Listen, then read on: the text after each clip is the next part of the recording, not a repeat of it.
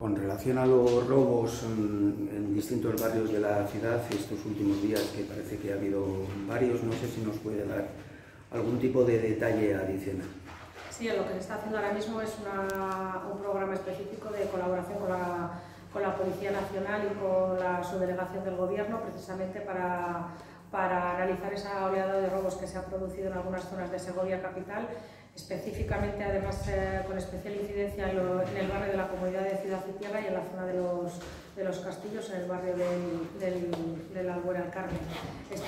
Como yo digo, colaborando con la Policía Nacional y también con la propia policía, la policía local, que son, en el caso de la Policía Nacional son los que tienen la competencia en este, en este ámbito. Eh, desde la Concejalía de Barrios además está haciendo un seguimiento específico de, de las actuaciones y de la implementación de las medidas y los, eh, las informaciones que está recabando Policía Nacional y también a través de las asociaciones de vecinos y de las entidades ciudadanas para buscar la colaboración y poder eh, perseguir a los, a, los que han, a los que han cometido estos, estos robos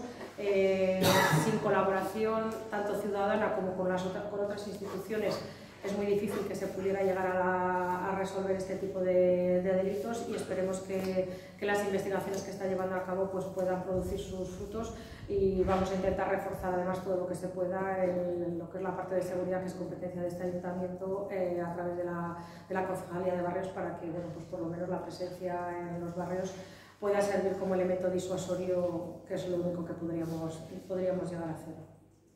Entiendo que ese intento de refuerzo de la seguridad es con más patrullas por, las calles. Sobre todo que, se, sean más visibles, que se, que se vea que, que, la policía está digamos, en la calle, a ver si conseguimos con ello, saben que son, suelen ser bandas organizadas que vienen normalmente de fuera en muchas ocasiones, no sabemos ya digo, los detalles todavía en este caso porque lo está llevando Policía Nacional, pero en muchas ocasiones son bandas que llegan, hacen el, el, destrozo correspondiente en unos cuantos días en unas cuantas zonas y probablemente ya ni estén siquiera a lo mejor en, en Segovia. No, no, tenemos algo que se No, un detalle. Es obvio que no va a haber fuegos artificiales.